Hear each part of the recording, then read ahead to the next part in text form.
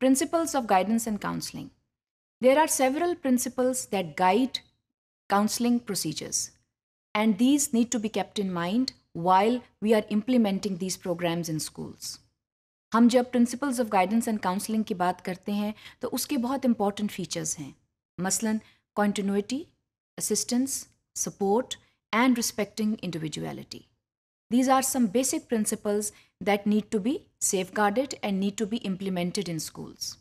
सबसे पहले हम कॉन्टीन्यूटी की बात करते हैं।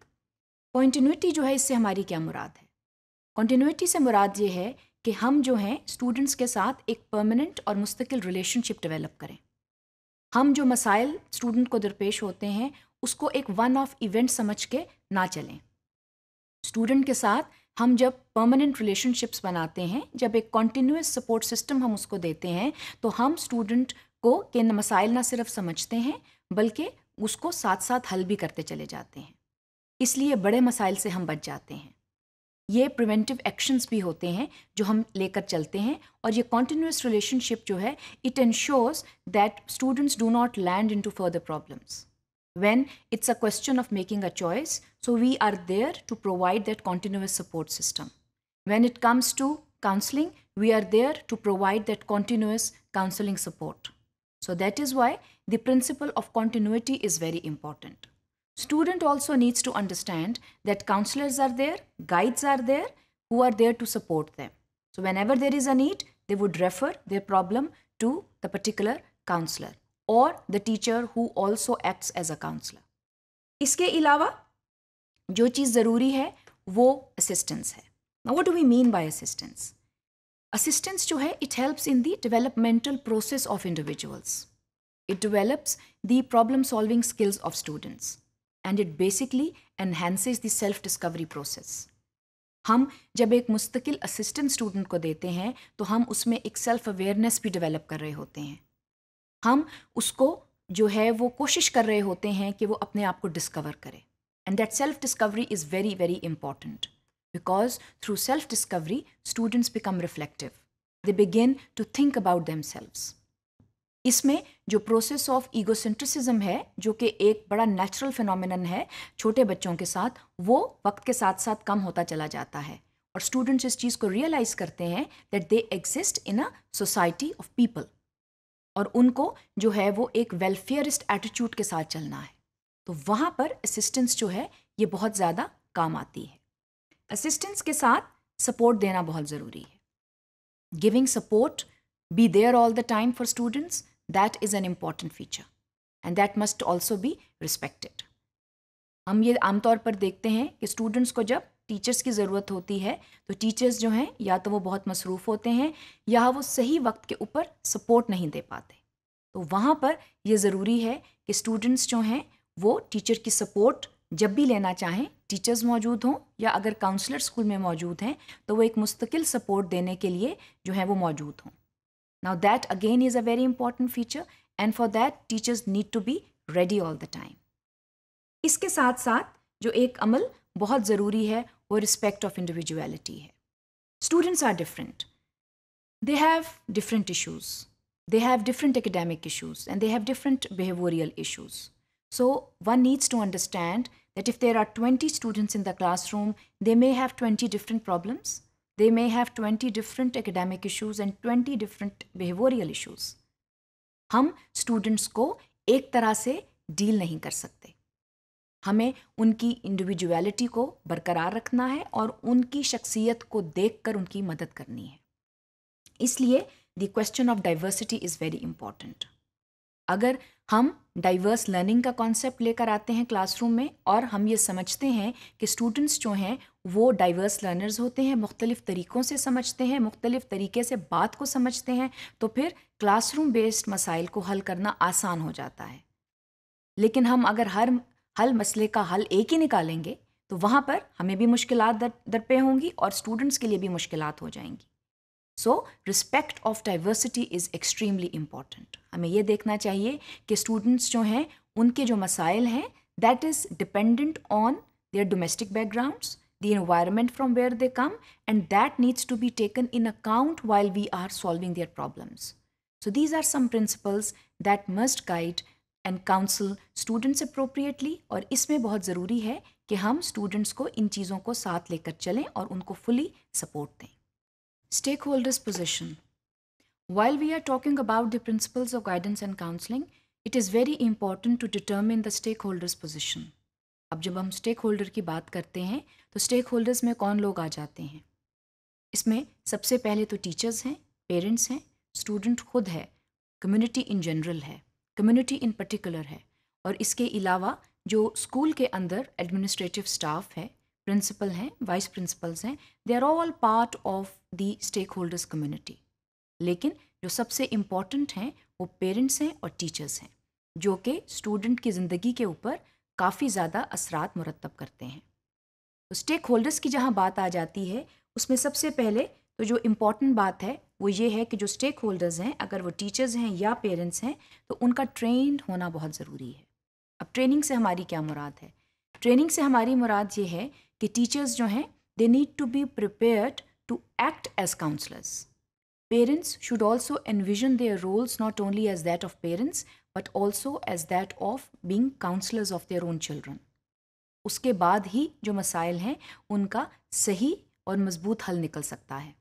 अदरवाइज़ जो प्रॉब्लम्स हैं they would keep cropping up and they would keep in you know keep making piles around the student तो वो बात जो है, वो गलत है। हमें मसले को हल करना है और इसमें देखना है कि जो स्टूडेंट के करीब के लोग हैं, वो किस तरह उसके ऊपर एक मुस्बत रवैया रख कर किस तरह उस पर असरअंदाज हो सकते हैं। तो ट्रेनिंग जो है that is very very important ना द ट्रेनिंग जो है it may need expert advice और जहाँ पर इसकी ज़रूरत है तो वहाँ पर एक्सपर्ट एडवाइस को भी हासिल कर लेना जो है, उसमें कोई हर्ज नहीं है। आमतौर पर देखा यह गया है कि स्कूल्स में काउंसलर्स जो हैं, उनकी मौजूदगी बहुत कम होती है। बाज़ स्कूल्स में होते हैं और कुछ स्कूल्स जो हैं, वो काउंसलर्स की सर्विसेज़ को नहीं हायर करते। जहाँ पर आपको ये लगे कि स्कूल में काउंसलर की अशद ज़रूरत है तो वहाँ पर ज़रूर काउंसलर्स को रखें ताकि एक एक्सपर्ट एडवाइस जो है वो हर वक्त अवेलेबल हो। क्योंकि टीचर्स और पेरेंट्स जो हैं, वो अगर तो वो काउंसलिंग में तालीम हासिल करते हैं तो वो एक अलहदा बात है। लेकिन उनकी भी कहीं कहीं लिमिटेशंस आ सकती हैं। वहाँ पर एक्सपर्ट एडवाइस का होना बेहद ज़रूरी है। इसके अलावा what is important is that parents and teachers they need to discover their roles as counsellors जैसे मैंने पहले कहा कि जो करीबी लोग हैं स्टूडेंट के, वो या टीचर है या पेरेंट है। Primarily it is the parent and then when a child enter school it is the teacher so both of them should be prepared and well groomed to act as a students और their child's counsellor that is very very important अगर ये नहीं होता तो आमतौर पर जो student है, वो एट रिस्क हो जाता है। अगर पेरेंट्स बच्चे का मसला अपने का हल नहीं कर सकते तो student stand at risk it lowers down his और हर सेल्फ एस्टीम ही और she feels extremely deficient in you know in the psychological manner similarly when a child enter school and enters a classroom the teacher is in command and teachers need to emerge as a counsellor and provide that supportive role that is required in the classroom तो वहाँ पर teacher का एक counsellor बनना या समझना student के मसाइल को बेहद ज़रूरी है। तो ये जो तीन लोग हैं, जो स्टूडेंट खुद है पेरेंट है टीचर है, ये तीनों जो हैं, ये एक ट्राइंगल बनते हैं। और ये वो सपोर्ट सिस्टम है जो एक दूसरे को प्रोवाइड करते हैं। जैसे मैंने पहले भी कहा था कि स्टूडेंट के अंदर सेल्फ अवेयरनेस और प्रोसेस ऑफ़ सेल्फ डिस्कवरी का चलना बहुत ज़रूरी है, जिससे स्टूडेंट अपने मसाइल को खुद समझता है। या समझती है। इसी तरह टीचर्स और पेरेंट्स जो हैं through proper communication channels and through proper support can provide the right kind of advisement to the student so student himself और herself together with the support of the parent and the teacher can solve the problems तो ये triangle is very important इस triangle का चलना और इसका मज़बूत होना जो है, ये बहुत ज़रूरी बात है। तो इस ट्राइंगल के अलावा what is important to understand is कि जो गाइडेंस प्रोग्राम्स हैं, इनकी मुस्तकिल असेसमेंट भी बहुत ज़रूरी है कि ये प्रोग्राम्स चल कैसे रहे हैं इनकी वैल्यूएशन होना बहुत ज़रूरी है एक इनकी continuous assessment and early evaluation is extremely important to find out if there there is a problem that still exists and how can those problems be eliminated and things can enter a reformation stage. So guidance and counseling programs की evaluation जो है ये बहुत ज़रूरी है। क्योंकि इनकी intention क्या है? The intention is overall development of, an, of a student. So एक ऑल राउंड development के लिए इन तमाम स्टेक होल्डर्स का ट्रेन होना बहुत ज़रूरी है। और इसके अलावा it deals with every aspect of life सिर्फ़ तदरीसी अमल जो है वो ज़रूरी नहीं है। उसके साथ साथ ज़िंदगी गुजारने के लिए तमाम जो मामलात हैं उन पर भी गौर व करना ज़रूरी है। उन पर भी ट्रेनिंग देनी ज़रूरी है। और जब तक ये स्टेक होल्डर्स जो हैं, ये फुल कमांड में नहीं होंगे फुली ट्रेन नहीं होंगे तो एक ओवरऑल पर्सनालिटी डेवलपमेंट जो है, एक ओवरऑल शख्सियत की तराश खराश नामुमकिन है। Cooperation and flexibility another very important principle of guidance and counselling is that it requires a lot of cooperation and flexibility now cooperation and flexibility से हमारी क्या मुराद है? कोऑपरेशन एंड फ्लेक्सिबिलिटी से हमारी ये मुराद है कि it applies to all irrespective of gender, class, ethnicity, it applies to everybody. ये ज़रूरी नहीं है कि कोई ख़ास बच्चे हैं या ख़ास स्टूडेंट्स हैं जिनको गाइडेंस एंड काउंसलिंग रिक्वायर्ड होती है। आमतौर पर यह कहा जाता है कि ख़ास सोशो इकोनॉमिक स्टेटस के बच्चों में ये मसाइल होते हैं। ख़ास बच्चे हैं जिनके ये पर्टिकुलर मसाइल होते हैं। तो मसाइल जो हैं वो अक्रॉस द बोर्ड होते हैं। किसी भी बच्चे को किसी भी वक्त कोई ना कोई मसला दरपेश आ जाता है। आमतौर पर कहा यह जाता है कि जो बच्चे जो हैं वो फॉर एग्ज़ाम्पल डोमेस्टिक वायलेंस से निकल कर आते हैं, उनके बहुत से मसाइल होते हैं। ये हो सकता है कि उनके बहुत से मसाइल हों, लेकिन ऐसे भी घरानों के बच्चे जो डोमेस्टिक वायलेंस का शिकार नहीं होते, उनके भी मसाइल हो सकते हैं।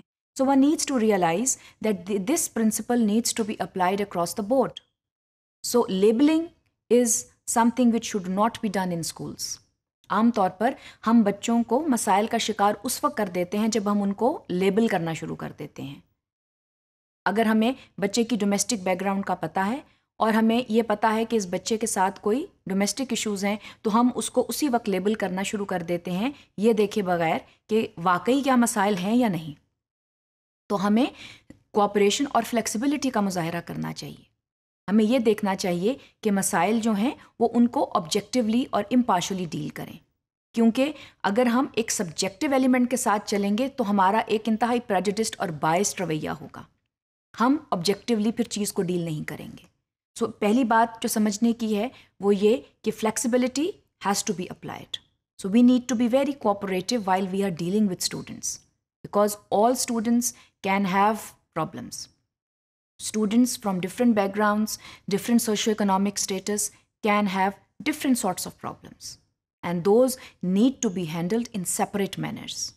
So labeling is something which need not be done in, in the schools. Iske alawa, what is important is that guidance and counseling requires cooperation among persons. Cooperation से हमारी ये मुराद है कि जितने स्टेक होल्डर स्कूल में मौजूद हैं उन सब का तावन बहुत ज़रूरी है मिसाल के तौर पर, अगर उस्ताद कुछ करना चाह रहा है या करना चाह रही है और उसको सपोर्ट नहीं दी जा रही स्कूल की तरफ़ से तो फिर गाइडेंस एंड काउंसलिंग जो है, वो उसकी इम्प्लीमेंटेशन नहीं हो सकती। So all of us need to be on the same platform while we are dealing with students and that is a very important issue to understand unless all people cooperate guidance and counseling principles cannot be implemented in schools. इसलिए ताउन करना बहुत ज़रूरी है। इसमें माँ बाप का भी ताउन हासिल करना उतना ही ज़रूरी है, जितना स्कूल के अंदर जो है वेरियस स्टेक होल्डर्स का ताउन हासिल करना ज़रूरी है।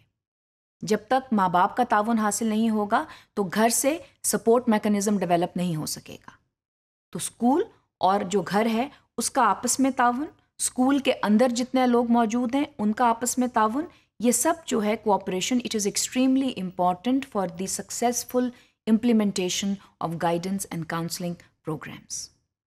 इसके अलावा जो चीज़ बहुत ज़रूरी है, वो एलिमेंट ऑफ़ फ्लेक्सिबिलिटी है जब हम गाइडेंस एंड काउंसलिंग की बात करते हैं और इस बारे में बात करते हैं कि गाइडेंस एंड काउंसलिंग जो है, वो स्टूडेंट्स के मुख्तलिफ़ मसाइल के हल के लिए जो है स्कूल में उसको तरजीह दी जाती है तो वहाँ पर उसको टेलर मेड करना चाहिए टेलर मेड करने से ये मुराद है कि हर स्टूडेंट की स्पेसिफिक नीड्स हैं, उसकी स्पेसिफिक प्रेफरेंसेस हैं, उसके चंद मसाइल हो सकते हैं जो कि तदरीस से रिलेटेड हो सकते हैं, जो कि रवैये से रिलेटेड हो सकते हैं तो वहाँ पर उसके लिए हो सकता है आपको स्पेशलाइज्ड प्रोग्राम डेवलप करने पड़ जाएँ। मिसाल के तौर पर एक स्टूडेंट है वो रियाजी में अच्छा नहीं है, मगर बाकी स्टूडेंट्स जो हैं वो ठीक हैं। तो उस स्टूडेंट के लिए आप स्पेसिफिक रिमीडियल प्रोग्राम डिज़ाइन करेंगे। You will tailor made the programme according to the needs of that student इसी तरह बाद स्टूडेंट्स जो हैं, उनकी बहुत लो सेल्फ इस्टीम है। They don't think high of them उनके लिए भी फिर आपको स्पेसिफिक प्रोग्राम्स जो हैं, वो डेवलप करने पड़ेंगे। तो इस चीज़ को जानना ज़रूरी है कि गाइडेंस एंड काउंसलिंग जो है, वो हर एक के लिए, हर एक वक्त में एप्लीकेबल नहीं होती।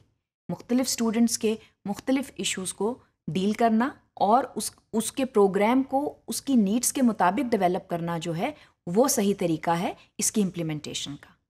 And that needs to be properly thought out and properly planned in the school setting self awareness and dignity of individuals a very important feature of guidance and counselling is the development of self awareness among students not only that the dignity of an individual needs to be respected तो एक बहुत important principle जो guidance and counselling का है, वो provision of self awareness and provision of dignity of the individual है।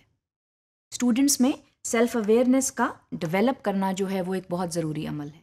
क्योंकि self awareness जो है it is itself a learning process self awareness के ज़रिए स्टूडेंट जो है, वो अपने आप को समझता है, अपनी स्ट्रेंथ्स एंड वीकनेसेस को जांचता है, उनको एनालाइज करता है रिफ्लेक्ट करता है उनके ऊपर।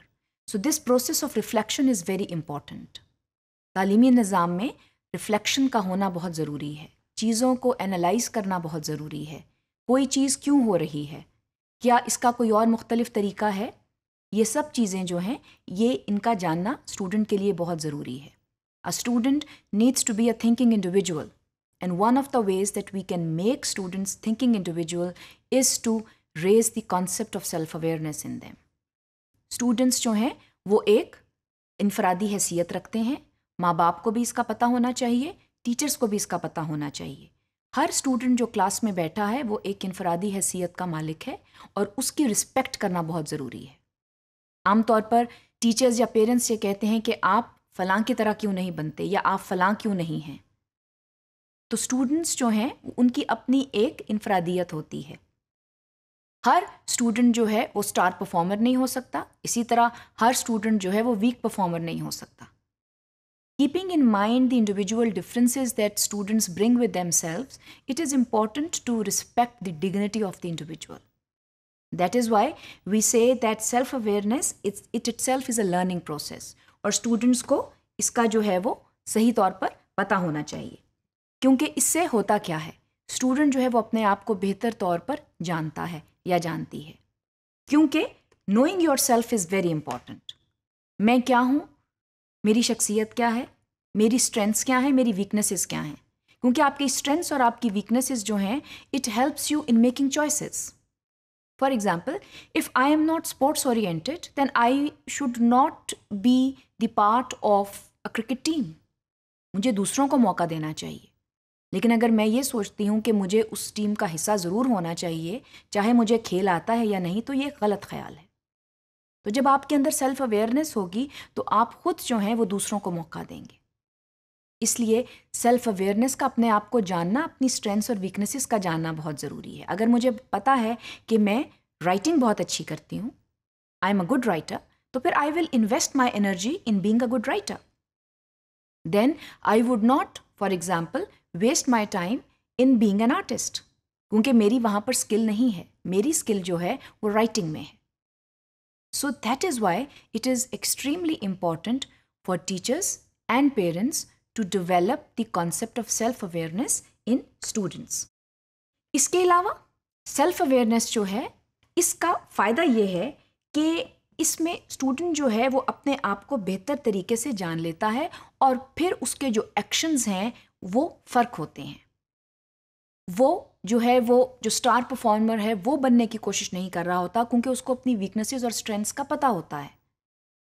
वो अपनी एनर्जी जो है, वो उन कामों में नहीं लगा रहा होता जिन कामों में एनर्जी लगाकर भी उसको फ़ायदा नहीं होने वाला।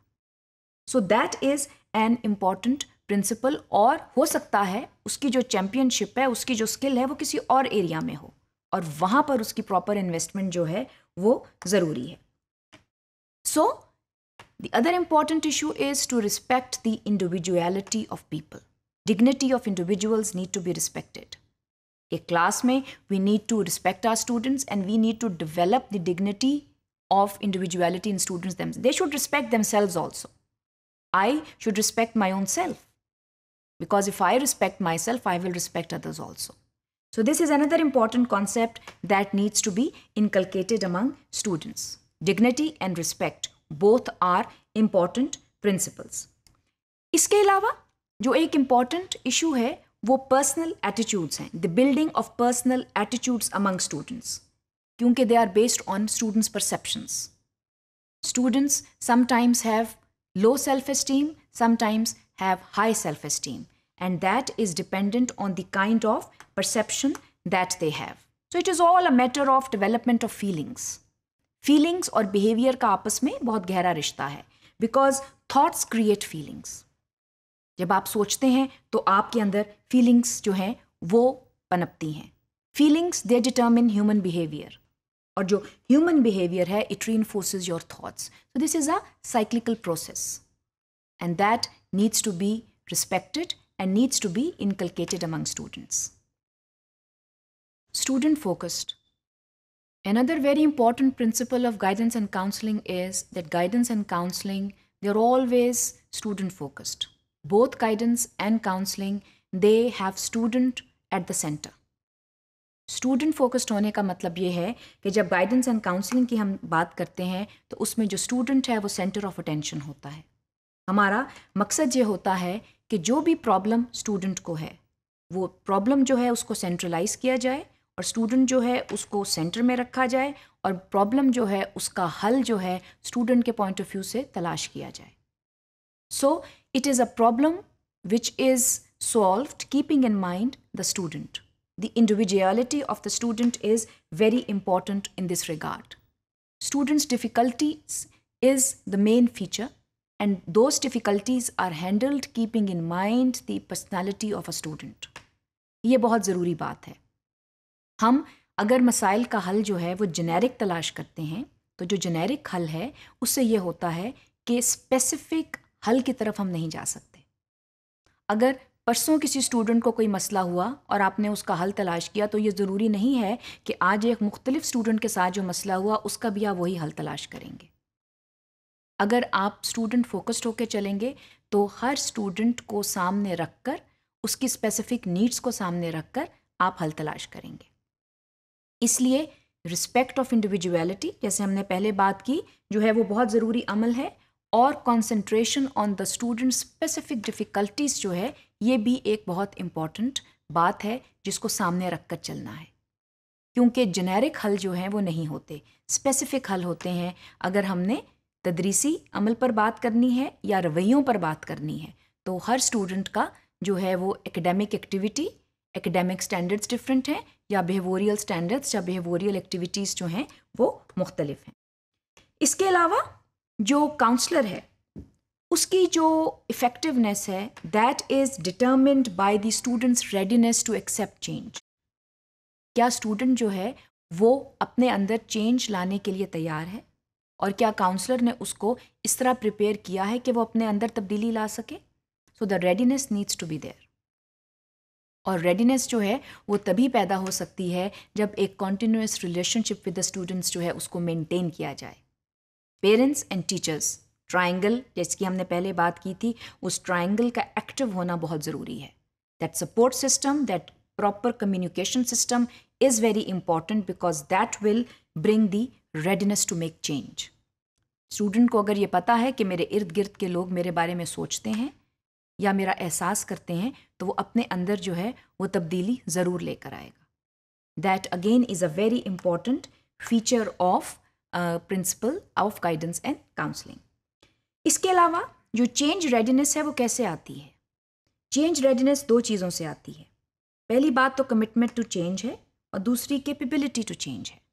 अगर स्टूडेंट जो है, उसमें कमिटमेंट टू चेंज होगी तो फिर उसमें विल और कन्विक्शन होगी। वो अपने आप को चेंज करना चाहेगा या चाहेगी।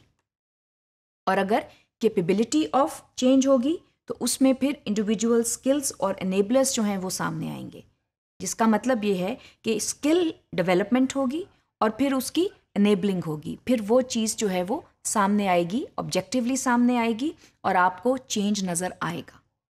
सो चेंज रेडीनेस जो है it is dependent on the commitment of the student to change and the capability to change अगर कमिटमेंट है कैपेबिलिटी नहीं है तो फिर भी चेंज नहीं आ सकता। या अगर कैपेबिलिटी है कमिटमेंट नहीं है तो भी चेंज नहीं आ सकता। चेंज लाने के लिए कमिटमेंट और कैपेबिलिटी दोनों ज़रूरी हैं। इसके साथ साथ काउंसलिंग इफेक्टिवनेस जो है, उसकी एक बहुत ज़रूरी चीज़ रिलेशनशिप विद द काउंसलर है। One has to have a good relationship with the counsellor अगर काउंसलर के साथ आपका अच्छा रिलेशनशिप नहीं है तो वहाँ पर चेंज का आना जो है वो नामुमकिन है। क्योंकि good relationship with the counsellor जो है that basically determines that readiness is there and change will come within a stipulated time because a counsellor knows the student, has been working with the student, has been providing the uh, required support to the student. So the readiness, the commitment, and the capability are nourished. And change will come. Either it is a behavioral change or an academic change. That will come, but it will take time. Goal directed and confidential. Another principle of guidance and counseling is that it is always a goal directed activity. It is not only a goal directed activity, it is a confidential activity. हम जब गोल directed की बात करते हैं तो इसका मतलब ये है कि कोई भी स्टूडेंट का जो एक्शन है, उसको काउंसलिंग उस वक्त दी जाती है जब हमारे सामने एक गोल होता है। हम स्टूडेंट का एक्शन चाहे वो एकेडमिक एक्शन है, चाहे वो बिहेवियरल एक्शन है, उसमें हम उसको एक प्रॉपर गोल की तरफ़ ले जाना चाहते हैं। For example if a student is weak in a language so we are basically constructing a remedial programme for the student so that a student reaches a particular goal. So, what we do is that we have specific objectives for that students. Every day we have certain outcomes, learning outcomes for the student so that he or she reaches a particular goal at the end of say 6 weeks or a quarter of a year or maybe 6 months. So an important principle to be discussed and to be implemented is that guidance and counseling is always goal directed. और इसकी orientation जो है वो student को भी देना ज़रूरी है। उसकी के साथ काउंसलिंग एक्टिविटी अगर की जा रही है तो स्टूडेंट को ये मालूम होना चाहिए that it has a particular purpose and the purpose is that after a period of a few weeks or a few months a student should be able to reach this particular point and that is why we hold remedial programs. That is why we offer assistance to students so that they enter into a kind of commitment with the counselor that they would meet a particular goal within this particular time. So this being a goal oriented activity is very important. Another very important feature of guidance and counseling is that it is confidential student और counsellor, जो कि teacher भी हो सकता है, parent भी हो सकता है, प्रिंसिपल भी हो सकता है, या कोई और एडमिनिस्ट्रेटिव स्टाफ भी हो सकता है, उसका जो रवैया है स्टूडेंट के साथ, वो दोस्ताना तो होता ही है, मगर उसका ये मतलब नहीं है कि उसको दूसरे लोगों तक भी मुंतकिल किया जाए। अगर स्टूडेंट के साथ कोई प्रॉब्लम है, और ख़ास तौर पर बिहेवियरल इशू है so that is a confidential activity अगर आप किसी स्टूडेंट के साथ उसके किसी ख़ास बिहेवियर पे काम कर रहे हैं तो उसको दूसरों के साथ डिस्कस ना करें, जब तक कि उसकी ज़रूरत नहीं है। आमतौर पर देखा यह गया है कि स्टूडेंट्स के बिहेवियर्स को, उनके एकेडमिक एक्टिविटीज़ को स्टाफ रूम में बैठ के टीचर्स लाउडली डिस्कस कर रहे होते हैं। और अगर गुजरते हुए स्टूडेंट्स बात को सुन लेते हैं तो फिर वो उसको मज़ीद ब्लोट आउट करते हैं। स्टूडेंट्स के जो मसाइल हैं उनको जो है पोशीदा रखना ज़रूरी है। बिकॉज़ अगेन जो डिग्निटी है that needs to be maintained A student has self esteem, a student has dignity, a student has respect, and that needs to be maintained and properly taken care of. आमतौर पर हम इस चीज़ को जो है वो बरूए कार नहीं लाते और स्टूडेंट्स को ओपनली डिस्कस कर रहे होते हैं। जिस स्टूडेंट के कुछ डोमेस्टिक इश्यूज़ हैं उन डोमेस्टिक इश्यूज़ को स्टाफ रूम में डिस्कस करने की ज़रूरत नहीं है। If a particular student has confided in you and discussed his or her domestic issues with you if you are a teacher then it is not important that you make it a public affair that needs to be respected और अगर आपने student में बेहतरी लेकर आनी है, उसके रवैये में बेहतरी लेकर आनी है तो ये और भी ज़्यादा ज़रूरी है कि उसकी उसकी डिग्निटी को रिस्पेक्ट किया जाए। If a student has confided in you so please maintain that kind of a relationship with a student whereby a student does not feel ashamed in any way. So, ये दो चीज़ें जो हैं, ये बेहद अहम है और स्टूडेंट जो है, उसकी प्राइवेसी जो है दैट इज़ अ की फीचर क्योंकि स्टूडेंट्स के मुख्तलिफ़ मसाइल हैं और उन मसाइल को पब्लिक नहीं करना चाहिए। उन, पहले बात तो ये है कि हमें गोल ओरिएंटेड होना चाहिए।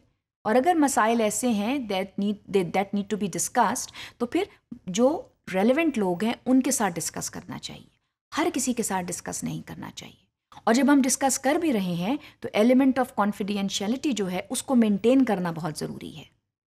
क्योंकि अगर बच्चों को पता चल जाता है या किसी से पता चल जाता है कि उनके मसले को डिस्कस किया जा रहा है then they feel very low it lowers down their self esteem and we need to work on building the self-esteem of student not to limit it down.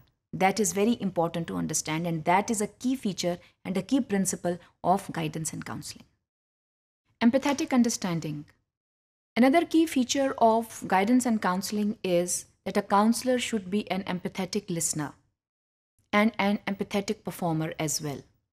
हम जो principles of guidance and counselling की बात करते हैं तो उसमें एक common thread जो रन करता है, वो social and emotional aspect of human behaviour है।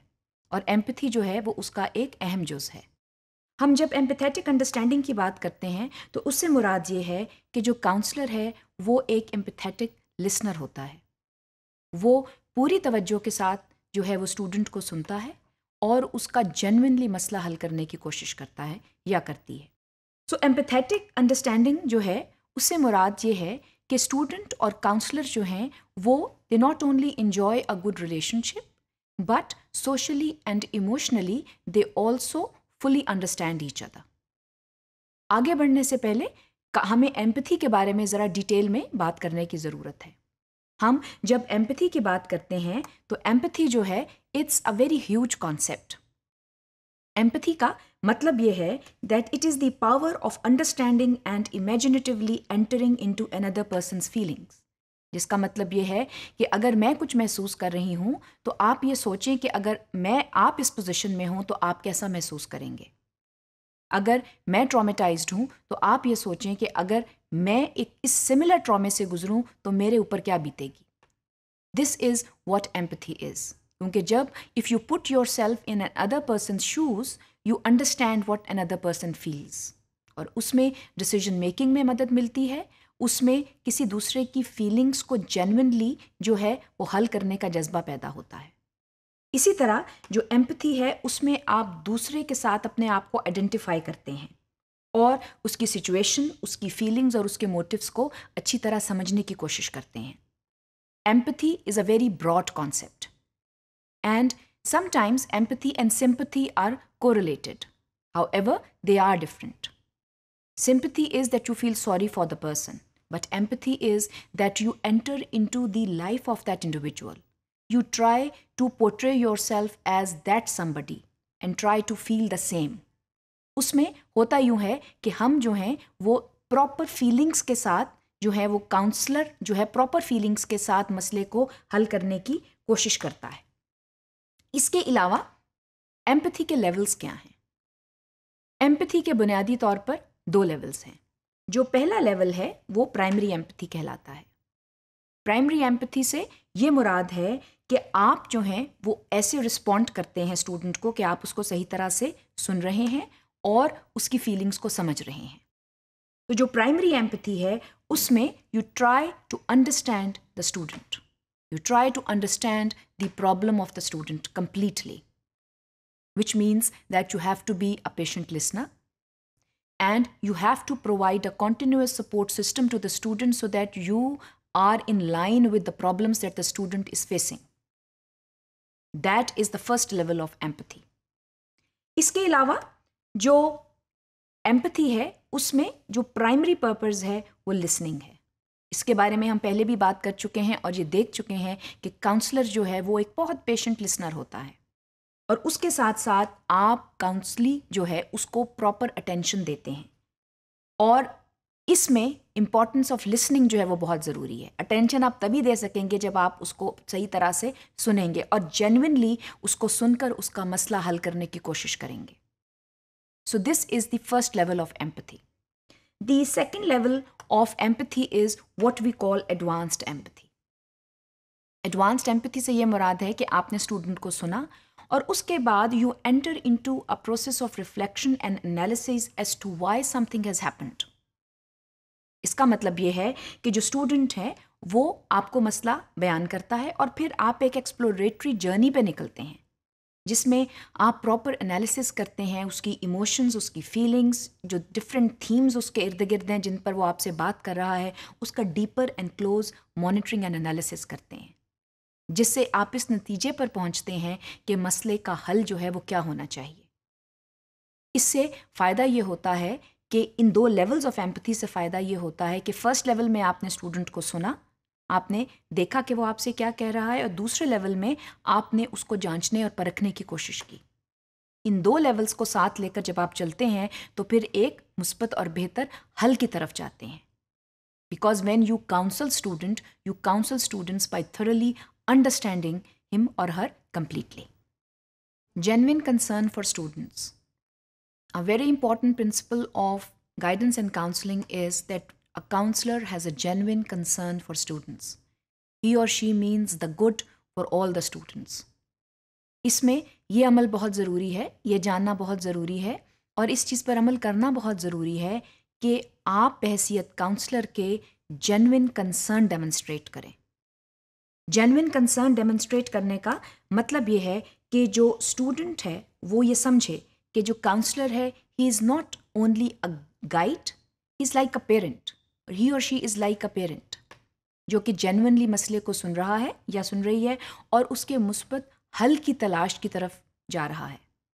This is very important so sincerity and honesty of the counsellor is extremely important counsellor जितना जेनविनली जो है वो मसले को सुनेगा या सुनेगी या जितनी ऑनेस्टली उसके ऊपर काम करेगी, जो काउंसली है जो स्टूडेंट है, उसका मसला उतनी जल्दी हल होगा। So this is this is one of the prime principles of guidance and counseling that you have to show genuine concern for your students. Only then we can arrive at possible solutions. Otherwise वो hit and run वाले जो solutions हैं वो ज़्यादा देर तक कारामद साबित नहीं हो सकते अगर हमने परमानेंट सॉल्यूशंस की तरफ़ जाना है तो जेनविननेस का दिखाना जो है वो बहुत ज़रूरी है इसके अलावा जो जेनविन बिहेवियर है काउंसलर का, उसमें transparency is very very important transparency का मतलब ये है कि स्टूडेंट जो है, उसको आपके ऊपर पूरा अतमाद होना चाहिए, आपके प्रोसीजर्स के ऊपर अतमाद होना चाहिए, और उसको ये मालूम होना चाहिए कि आप के जितने भी अमाल हैं और आप जो हैं, वो स्टूडेंट को जो भी कहने को कर रहे हैं, उसमें एक जेनविन सिंसेरिटी है. क्योंकि आप ये चाहते हैं कि स्टूडेंट्स जो हैं, वो एक ख़ास गोल तक पहुँचें। और ख़ास गोल तक वो तभी पहुँच सकते हैं जहाँ पर ऑनेस्टी और सिंसैरिटी जो है both principles are not only implied but they are also applied so this is one important concept that we needs to understand अब जब हम जेनविननेस की बात करते हैं तो उसमें सबसे पहले कॉन्ग्रुएंस आ जाता है। कॉन्ग्रुएंस से हमारी क्या मुराद है? कॉन्ग्रुएंस से मुराद है that you are consistent in your words and behaviours you not when you show concern when you show genuine concern for students there is a consistency in your own attitude as a counselor क्योंकि अगर आपके attitude में consistency होगी तो student जो है वो आप पर एतबार करेगा या करेगी so when you are interacting with students so one of the attributes that you need to have is that of consistent behavior इसके साथ साथ what is important is spontaneity जिसका मतलब ये है कि आप वाज तौर पर जो है वो अपने ख्याल का इजहार करें। You have to be rather blunt in what you say जिसमें आप बात अगर आपने पॉजिटिव या नेगेटिव दोनों तरफ़ स्ट्रेंथ्स एंड वीकनेसेस बतानी है तो जेनविनली बताएँ। उसमें जब आप बात को छुपाएँगे या अंडर द कारपेट बात को कर देंगे तो वहाँ पर मसाइल जो हैं वो हल नहीं होते, बल्कि अंडर द कारपेट मसाइल जो हैं वो मज़ीद पेचीदा होते चले जाते हैं। So spontaneity is one of the important features of being genuine with your students इसके अलावा what is more important is giving positive regard to the counselling positive regard का मतलब ये है that you respect the individuality of the student individuality का मतलब ये है कि एक स्टूडेंट जो है, उसके ख़ास मसाइल हैं, वो ख़ास मसाइल में घिरा हुआ है. Again those problems can either be academic और बिहेवियरल और they can be connected to the students life outside the school और इनसाइड द स्कूल तो मसले की नेचर जो भी है we have to respect the individuality of the student and we have to give regard to his self esteem. Self esteem must not suffer. That is very important to understand as a counselor. So, when we are dealing with children, when we are dealing with students, we have to show genuine behavior, which basically includes consistency, spontaneity, and giving positive regard to a student's life in school and also outside school. Raising awareness and respecting uniqueness. One of the key principles of guidance and counseling is that it helps to create awareness among students not only awareness it helps to you know create respect among students. Now, that respect can be two pronged it is self respect and as well as respect for others. जब हम principles of guidance and counselling की बात करते हैं तो awareness raising जो है, ये बहुत इंपॉर्टेंट इसका जुज है। ना अवेयरनेस रेजिंग से हमारी क्या मुराद है? अवेयरनेस रेजिंग से हमारी ये मुराद है कि ऐसी इंसाइट्स हम स्टूडेंट्स को दें ऐसे अवेयरनेस सेशंस हम स्टूडेंट्स को के साथ करें कि वो जेनुनली अपनी स्ट्रेंथ्स एंड वीकनेसेस को ना सिर्फ़ फील कर सकें, बल्कि देखभाल सकें और फिर उन पर अमल कर सकें। वीकनेसेस जो हैं, उन पर काम करें ताकि वीकनेसेस जो हैं वो स्ट्रेंथ्स बन जाएँ और स्ट्रेंथ्स पर काम करें ताकि स्ट्रेंथ्स जो हैं they can be maintained and they can be with health so ये वाली जो चीज़ें हैं, ये तब आ सकती हैं जब काउंसलर जो है वो कंसिस्टेंटली अपने काउंसली के साथ काम करता है या करती है और डेवलपमेंट ऑफ़ अवेयरनेस जो है, उसमें जो है वो बहुत ज़्यादा डीपली जो है वो काम किया जाता है। अब जब हम इनसाइट की बात करते हैं insights can be several insight से मुराद ये है कि जो स्टूडेंट है, उसके अंदर मुख्तलिफ़ स्किल्स एंड पोटेंशल्स होते हैं। अब अगर किसी स्टूडेंट के अंदर रिमार्केबल स्किल है और वो इंतहाई क्रिएटिव माइंडेड है एंड ही और she is an extremely creative writer अब उसमें उसके अंदर पोटेंशियल मौजूद है, उसके अंदर स्किल मौजूद है, मगर उसकी एप्लीकेशन नहीं है। दी पोटेंशियल इज़ देयर और शायद स्टूडेंट को इसके बारे में अवेयरनेस भी नहीं है। उसको ये मालूम ही नहीं है कि उसके अंदर एक कमाल की स्किल है और वो एक अच्छा राइटर है। अब टीचर जो है, अगर वो बहसीत काउंसलर के भी काम कर रहा है, उसमें टीचर जो है वो स्टूडेंट के साथ काम करेगा। उसको सबसे पहले रियलाइजेशन देगा कि आपके अंदर ये स्किल है, उसके ऊपर काम करेगा और वो स्किल जो है वो उसकी ख़ास स्ट्रेंथ बनकर सामने आती है। अवेयरनेस देने से डेमोन्स्ट्रेशन ऑफ़ अप्रोप्रिएट बिहेवियर जो है वो उसका सेकेंड स्टेप है। स्किल का मौजूद होना और उसकी एप्लीकेशन ये दो मुख्तलिफ़ अमल हैं। और इन दोनों के बारे में आगही होना जो है वो सबसे ज़्यादा ज़रूरी है। and that is the awareness we need to give to our students they may have so many potentials they may have so many skills but the application lacks because of proper that proper guidance and counseling they are not there teachers जो हैं चूंकि उन्होंने एक ही वक्त में 25 से 30 students को handle करना होता है तो वो डिस्कवरी जो है वो नहीं हो पाती और अगर proper guidance and counselling procedures in place हो तो ये डिस्कवरीज हो सकती हैं और स्टूडेंट्स जो हैं वो अपने पोटेंशियल को जान सकते हैं, उनके बारे में आगाही हासिल कर सकते हैं और फिर अपनी स्ट्रेंथ्स के ऊपर काम कर सकते हैं, ताकि जो स्ट्रेंथ्स हैं, उनकी जो एप्लीकेशन है वो सामने आए और वो एक मुस्बत तरीके के साथ अपनी स्कूल की ज़िंदगी गुजार सकें। That is something which needs to be worked on इसके अलावा काउंसलर्स को ये चाहिए कि स्टूडेंट्स के जो यूनिक इश्यूज़ हैं उनको जनरलाइज ना करें। इसके बारे में हमने पहले भी ये बात की थी कि अगर एक स्टूडेंट जो है, वो लिखने में उसको महारत हासिल नहीं है तो एक तो हम उसकी रॉन्ग लेबलिंग ना करें। आमतौर पर वो बच्चे जो लिखने या पढ़ने में थोड़े से डेफिशेंट होते हैं तो हम एकदम लेबल कर देते हैं कि शायद ये डिसलेक्सिक है। हो सकता है वो हो और हो सकता है वो ना भी हो। प्रॉब्लम्स यूनिक होती हैं। और उन यूनिक प्रॉब्लम्स को जनरलाइज नहीं किया जा सकता। बाज़ात हम टर्म्स को सीख लेते हैं और फिर हम उसकी एप्लीकेशन जो है वो फौरी कर देते हैं, बग़ैर जो है ऑथेंटिकेट किए कि क्या मसला ये है या कोई और है। तो यूनिक मसाइल को यूनिक रहने देना चाहिए और उनको यूनिकली हैंडल करना चाहिए। अगर एक बच्चे के साथ एक बिहेवियरल इशू है तो उसका जो सोल्यूशन है वो दूसरे पर अप्लाई नहीं किया जा सकता। क्योंकि हो सकता है कि जो दूसरा स्टूडेंट है, उसका जो सोल्यूशन है वो कोई और हो। क्योंकि उसका जो मसला है, उस मसले की हो सकता है इब्तदा कहीं और से हुई हो। तो ये जानना बहुत ज़रूरी है कि यूनिक इश्यूज़ जो हैं, उनको समझा जाए और उनको उन यूनिक मसाइल उनके हल किए जाएँ। We should not try to general generalise issues and not look for generalise solutions because students are individuals and they have individual problems and those individual problems need individual solutions and not generalized solutions. Development of self-efficacy and repo. Self efficacy की development और repo building जो है ये बहुत अहम हिस्से हैं guidance and counselling के हमने पहले बात की थी कि सेल्फ एस्टीम और self efficacy both are important principles Counsellors को ये चाहिए कि स्टूडेंट की सेल्फ एफिकेसी डेवलपमेंट में बहुत अहम रोल अदा करें।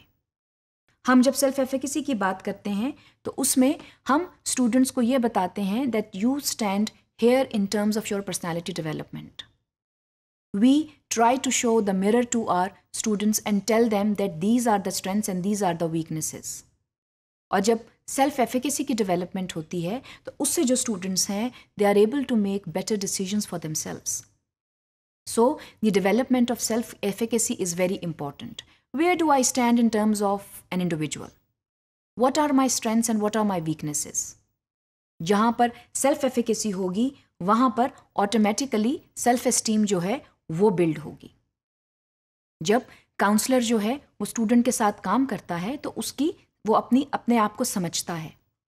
Again it is a process of self discovery and when you discover yourself when you discover your strengths and weaknesses do you automatically develop self esteem so जो development of high self esteem है, ये तभी possible है जब students जो हैं, उनमें self efficacy हो और वो अपने आप को सेल्फ डिस्कवर करें।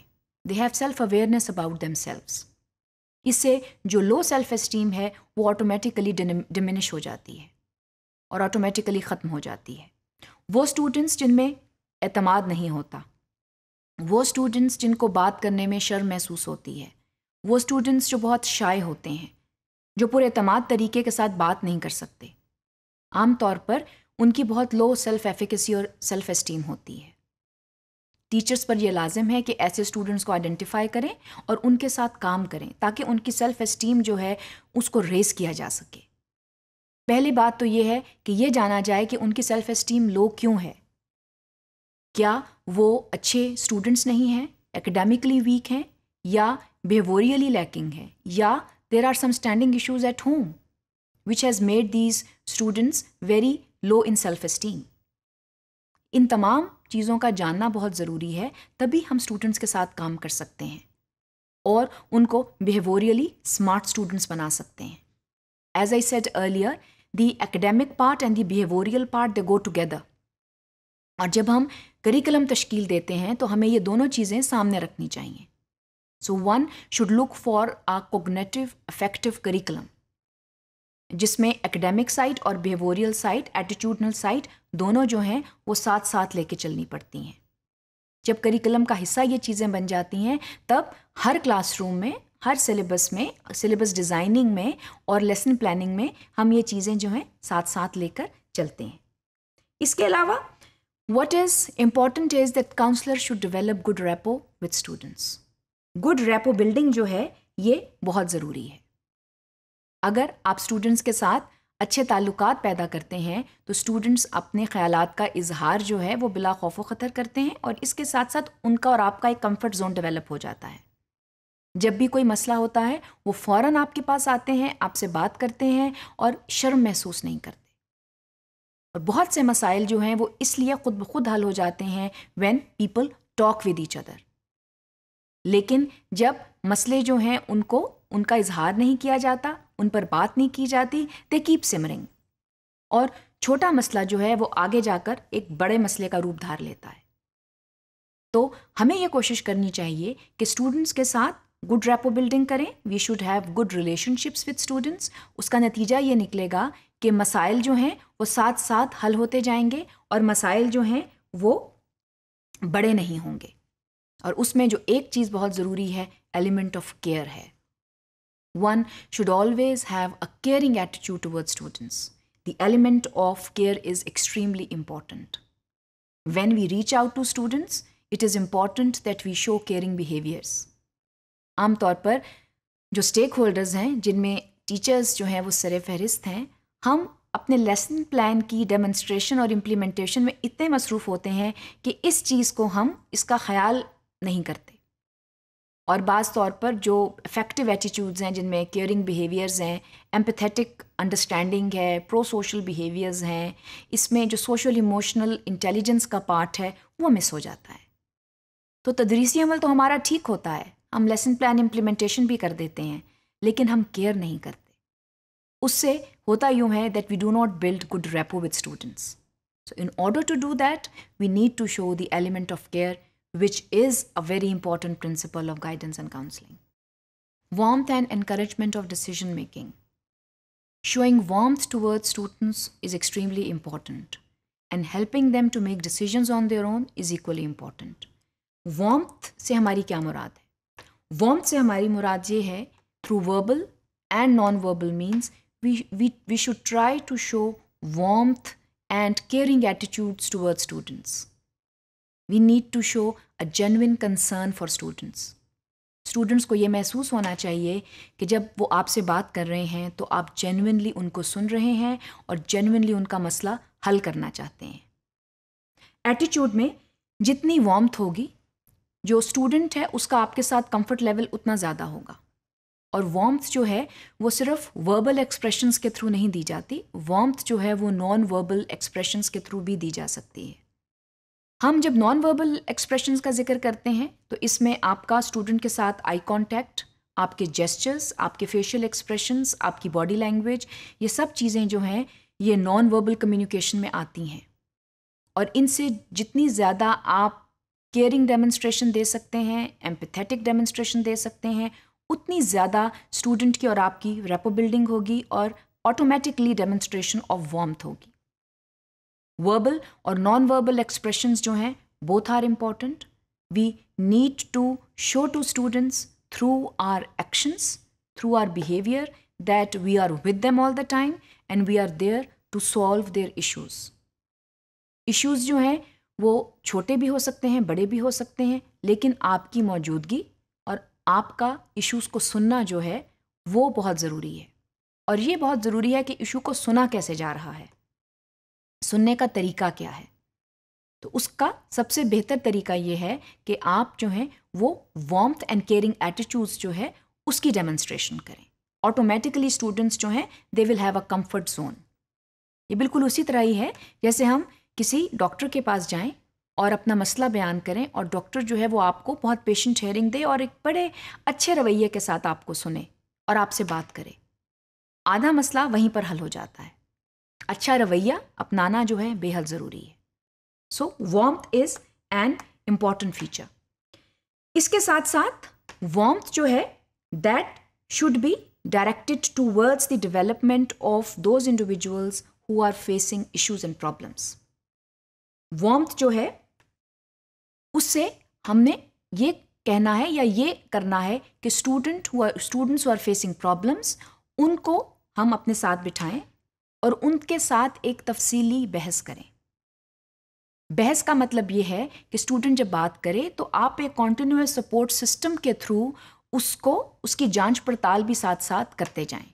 मगर पहले उसको सुनना ज़रूरी है और उसके साथ साथ उसको उसी वक्त मशवरे देने या उसको साथ मिलकर चीज़ पर रिफ्लेक्ट और उसका एनालिसिस करना जो है, ये बहुत ज़रूरी है those students who are facing problems are at risk students they are those students who can falter at any moment they can end up with bad grades or they can end up with bad behaviors.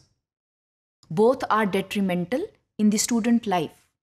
और ये दोनों नहीं होने चाहिए उसके लिए ये बहुत ज़रूरी है कि वो students who are facing problems those students are shown genuine warmth इसके साथ साथ जो चीज़ बेहद ज़रूरी है, वो ये है कि डिसीज़न मेकिंग जो है, उसमें स्टूडेंट्स की हेल्प करनी चाहिए। डिसीज़न मेकिंग अल्टीमेटली स्टूडेंट की खुद होनी चाहिए।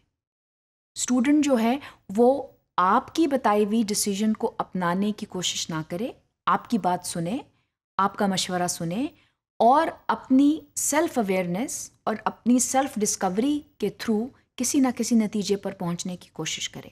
काउंसलर का यही काम है कि वो स्टूडेंट्स को इनक्रेज करें कि वो अपने फ़ैसले खुद करें।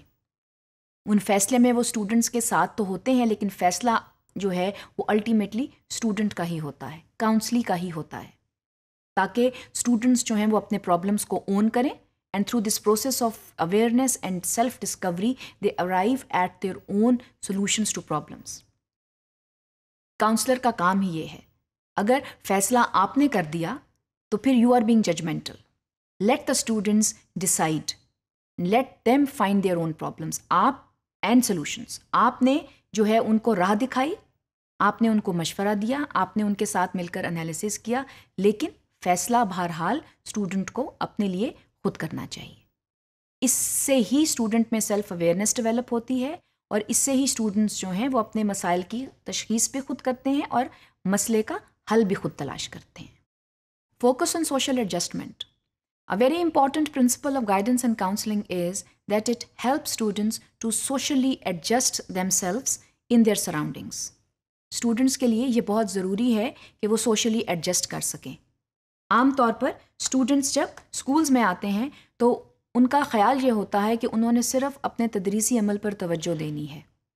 स्कूलिंग जो है, उसका मकसद जो है, वो preparation of an individual in totality होता है, जिसमें society plays a big role ultimately student जो है, उसने जाकर सोसाइटी का हिस्सा बनना है और जो स्कूल है, वो एक मिनिएचर सोसाइटी होता है। इसलिए तदरीसी अमल के साथ साथ बिहेवोरियल एप्लीकेशंस ज़रूरी हैं और स्टूडेंट को ये बताना ज़रूरी है कि किस तरह वो अपने अपने आप को एडजस्ट कर सकता है अपने रवैयों में तब्दीली लाकर।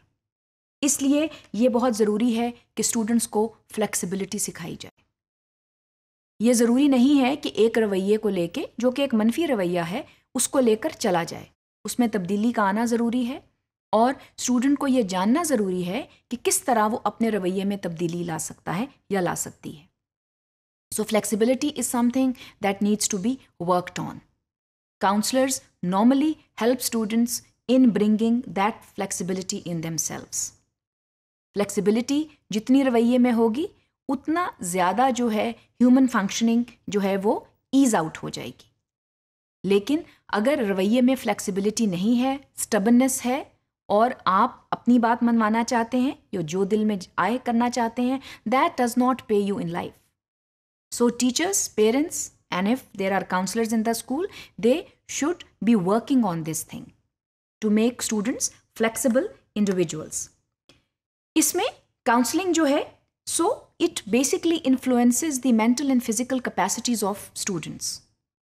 जिसका मतलब ये है कि स्टूडेंट्स जो है, वो घर में है या स्कूल में है तो वहाँ पर उसकी जो मेंटल एडजस्टमेंट है, जो फ़िज़िकल एडजस्टमेंट है, उस पर काम होता है स्कूल में जब स्टूडेंट जो है क्लास में बैठता है तो हो सकता है कि जो उसके साथ स्टूडेंट बैठा है जो उसके साथ तालब इल्म बैठा है, उसकी, उसके साथ सोशल एडजस्टमेंट नहीं हो रही। एक आसान हल ये है कि आप उनकी सीट्स बदल दें। मगर ये कोई परमानेंट हल नहीं है। इन बच्चों ने को करना है। और को तभी पॉसिबल है जब रवैयों में फ्लेक्सिबिलिटी लाई जाए।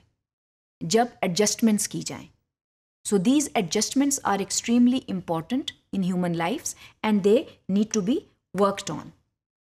इसके साथ जो फोकस है सोशल एडजस्टमेंट में, उसमें कोशिश ये करनी चाहिए कि बच्चे जो हैं, जो स्टूडेंट्स हैं, उनमें एडेप्टेबिलिटी आए वो अपने आप को चेंज करना चाहते हों और मुस्तकिल जो है वो अपनी शख्सियत को इवॉल्व करें इसके साथ साथ जो है इम्प्रूवमेंट की तरफ़ वो अपने आप, उनकी जो स्ट्रेंथ्स हैं उनको भी जो है वो मज़ीद पावरफुल स्ट्रेंथ्स में लेकर आएँ और जो वीकनेसेस हैं उनको स्ट्रेंथ्स की तरफ़ लेकर जाएँ। इसी को ह्यूमन ग्रोथ कहते हैं। इसी को पर्सनैलिटी ग्रोथ कहते हैं।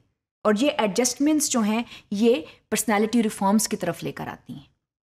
ये तमाम अमाल बेहद ज़रूरी हैं और काउंसलर और टीचर्स और पेरेंट्स और तमाम स्टेक होल्डर्स जो हैं, उनको ये चाहिए कि वो इन अमाल के ऊपर सीरियसली काम करें। स्कूल्स में, जैसे मैंने कहा कि आमतौर पर जो है वो तदरीसी अमल पर बहुत ज़्यादा फोकस किया जाता है। There is a lot of emphasis on the academic development of students that is nonetheless a very important activity however together with that we need to have socially functional human beings it is the responsibility of the school to prepare socially adjustable and functional individuals उसमें ये बहुत ज़रूरी है कि counselling को एक professional activity की तरह लिया जाए और काउंसलिंग के ज़रिए हम स्टूडेंट्स को प्रिपेयर करें ताकि वो अपनी ज़िंदगी में एडजस्टमेंट जो है उसको ईजी बना सकें। हम हमने जब इस चीज़ का तयन कर लिया कि आज के जो बच्चे हैं, इन, इन्होंने कल को एडल्ट बनकर सोसाइटी का एक फंक्शनल हिस्सा बनना है तो वहाँ पर फिर पर्सनालिटी में फ्लेक्सिबिलिटी का होना बहुत ज़रूरी है। और वो तभी पैदा हो सकती है जब हम शुरू से बच्चे के साथ जो है वो एक मुस्तकिल काम करें और उसको ग्रूम करें सो दैट ही और she becomes a functional and adjustable human being later on in the society so this is a very important principle of guidance and counselling that needs to be given a lot of thought in the school life of a student